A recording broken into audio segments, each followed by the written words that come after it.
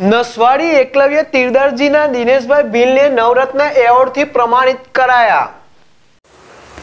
છોટાઉદેપુર જિલ્લો આદિવાસી બાહુલ્ય વસ્તી ધરાવતો જિલ્લો છે. તેમાં નસવાડી તાલુકો અંતરિયાળ ડુંગર વિસ્તાર ધરાવતો તાલુકામાં ડુંગર વિસ્તારના દિનેશભાઈ ભીલ તીરંદાજીમાં અનેક રાષ્ટ્રીય મેડલ જીત્યા છે.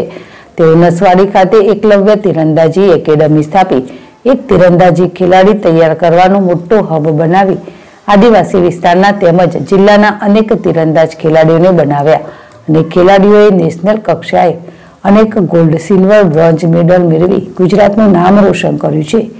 ત્યારે એકલવ્ય એકેડેમીના દિનેશભાઈ ભીલના ઉમા ટેલિવિઝન દ્વારા આયોજિત નવરત્ન એવોર્ડ સમારંભ વડોદરા સયાજી રાવ સભાગૃહમાં આયોજિત કરવામાં આવ્યો, જેમાં દિનેશભાઈ ભીલને નવરત્ન એવોર્ડથી સન્માનિત કરવામાં આવ્યા હતા. અલ્લાહ રખા પઠાણ છે ડેશ ટીવી છોટાઉદેપુર